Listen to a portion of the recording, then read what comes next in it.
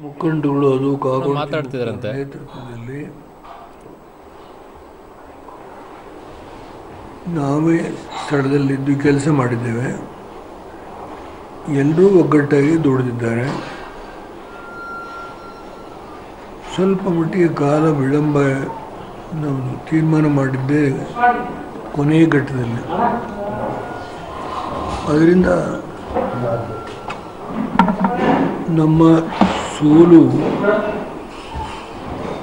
ಹಿಂದಿನ ಚುನಾವಣೆಯಲ್ಲಿ ಗೌರವಾನ್ವಿತ ಯಡಿಯೂರಪ್ಪನವರು ಏನು ಅಂತರದಿಂದ ಗೆದ್ದಿದ್ದಾರೆ ಅದಕ್ಕೆ ಹೋಲಿಸ್ಕೊಂಡಾಗ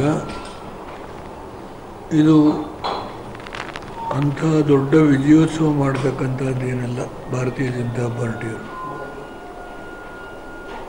ಹೌದು, ನಾವು ಸೋತಿರೋದನ್ನು ಒಪ್ಕೊಳ್ಬೇಕು.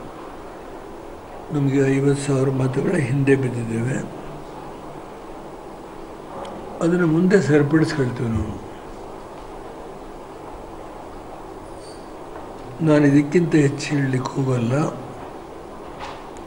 ದುಡಿದಂಥ ಎಲ್ಲ ಕಾರ್ಯಕರ್ತರು ಎರಡೂ ಪಕ್ಷದ ನಿಷ್ಠೆಯಿಂದ ಕೆಲಸ ಮಾಡಿದ್ದಾರೆ. ಎರಡೂ ಪಕ್ಷದ ಮುಖಂಡಗಳು ಕೆಲಸ ಮಾಡಿದ್ದಾರೆ. ಜಿಲ್ಲಾ ಮಟ್ಟದ ಮುಖಂಡಗಳು ತಾಲೂಕು ಮಟ್ಟದ ಮುಖಂಡಗಳು ಎಲ್ಲರೂ ಒಟ್ಟಾಗಿ ಕೆಲಸ ಮಾಡಿ ರಾಜ್ಯ ಮಟ್ಟದ ಮುಖಂಡರು ನಾವೆಲ್ಲ ಒಗ್ಗಟ್ಟಾಗಿ ಕೆಲಸ ಮಾಡಿದ್ದೇವೆ.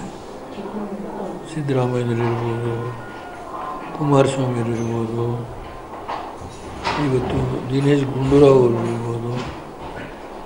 ನಾನು ಎಲ್ಲರ ಹೆಸರು ಹೇಳಬೇಕು ಅಂತಂದರೆ ಹೇಳ್ತೀನಿ. ಎಲ್ಲರೂ ಒಗ್ಗಟ್ಟಾಗಿ ಕೆಲಸ ಮಾಡಿದ್ದೇವೆ. ಖರ್ಗೆ ಇರ್ಬೋದು. ಎಲ್ಲರೂ ಒಗ್ಗಟ್ಟಾಗಿ ಕೆಲಸ ಮಾಡಿದ್ದೇವೆ. ಇದರಲ್ಲೇನು ಯಾವುದೇ ನಮ್ಮಲ್ಲಿ ಭಿನ್ನ ಅಭಿಪ್ರಾಯ ಬದಿಗೊತ್ತಿ ನಾವು ಹಿಂದಿನ ಹಳೆಯ ಎಲ್ಲ ವ್ಯತ್ಯಾಸಗಳನ್ನ ಮರೆತು ಕೆಲಸ ಮಾಡಿದ್ದೇವೆ. ಅದರಿಂದ ಈ ಒಂದು ಯಶಸ್ಸು ಸಿಕ್ಕಿದೆ.